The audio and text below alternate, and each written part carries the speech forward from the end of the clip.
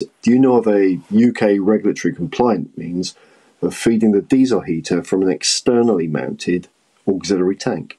That's a really sensible question. Thank you, Michael. Uh, yeah, you can. I mean, the regulations are, as far as I know, are about refilling a fuel tank. So I think it was the Petrol Retailers Association came out with some guidelines on for forecourts. Other than storing it, if it's up to 10 litres, it can be in an appropriate plastic container.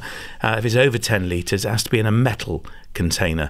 Um, as far, and I'm not aware of any other regs. I think as long as it's fixed somewhere that in an impact it's not going to be compromised. So I wouldn't put it right at the front bumper um, or even on the rear bumper. They're inside the underneath the vehicle in the middle uh, for safety reasons. So they've got a kind of crash impact zone in before and behind them. Crumple so, zones. Crumple zone. That's the one. So, I'll tell you one thing I came across recently. Uh, a friend of mine had a, a, VW van converted by a company called Scandi Vans, uh, and they're going to be at the NEC show. I think it's their first time. It is beautiful, and she has an AdBlue tank on her VW van, it's petrol vehicle, and it doesn't use it. So they used it for the heating. And I thought that was a genius idea.